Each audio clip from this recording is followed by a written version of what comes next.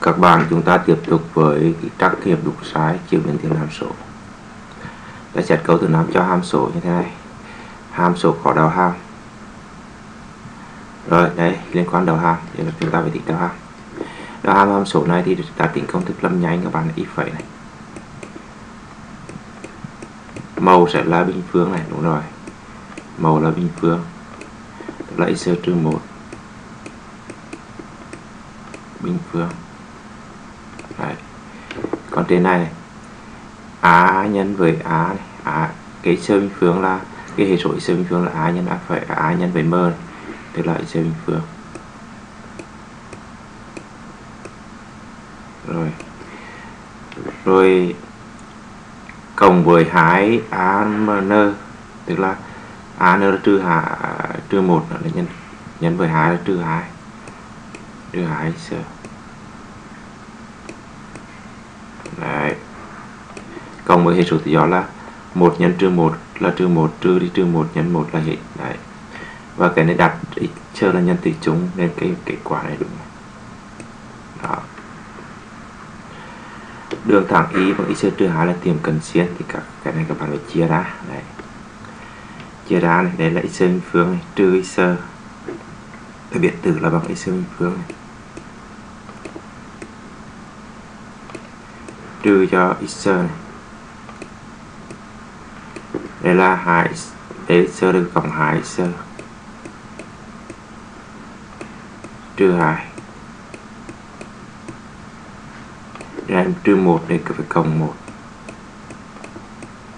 Rồi chia ra thì đây sẽ còn là chia cho x trừ một thì đây là x này. Cộng hai. Cộng với một trên x trừ một. Do đó đây là tìm cần xiên này. tìm cần xiên vậy tìm kiếm chiến y bằng sơ trừ 2 đúng hàm số đặt cực đại tại x bằng 5 đấy. Hàm số đặt giá trị, có giá trị cực đại x bằng 5 thì ở đây các bạn mới xét dấu đầu hàm, nha.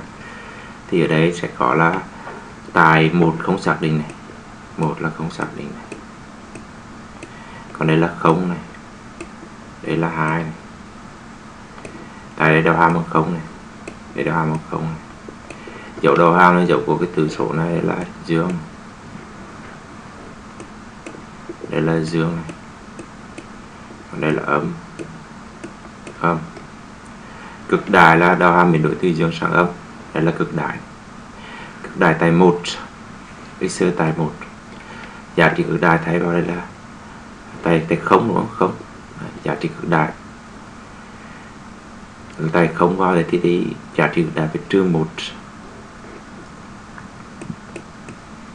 Ở đây là nắm là sai. Đấy.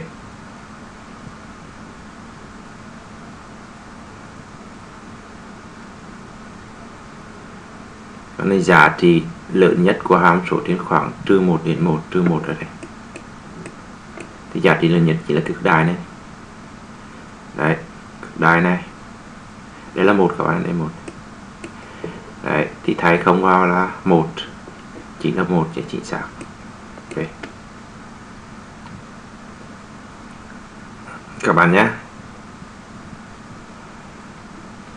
Câu tiếp theo cái cái này các bạn làm tương tự này. Đấy thầy sẽ giới thiệu các bạn trong một cái video tiếp theo. Các bạn nhé. Chào các bạn.